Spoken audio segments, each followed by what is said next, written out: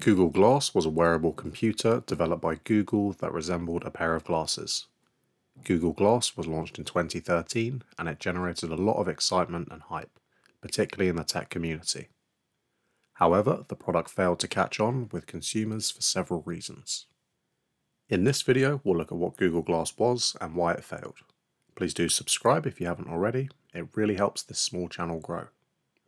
Google Glass was designed to display information in a smartphone-like hands-free format, enabling users to access information and perform tasks using voice commands and gestures. The device had a small prism-like screen located above the user's right eye.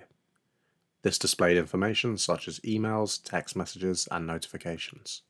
It also had a built-in camera allowing users to take photos and record videos.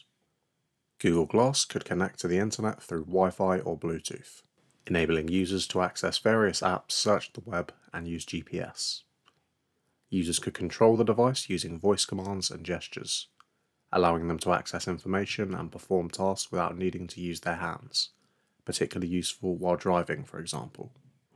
The device's built-in camera could overlay information onto the real world, providing users with an augmented reality experience. Here's what a user would have seen when wearing the glasses. So that sounds like quite an interesting device, especially for 2013. So why didn't it catch on? One of the main issues was the high price, which was set at $1,500 at launch.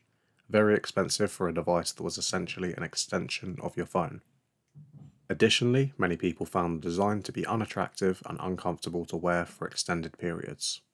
There are also concerns about privacy, as the device could potentially record and take photos without others' knowledge.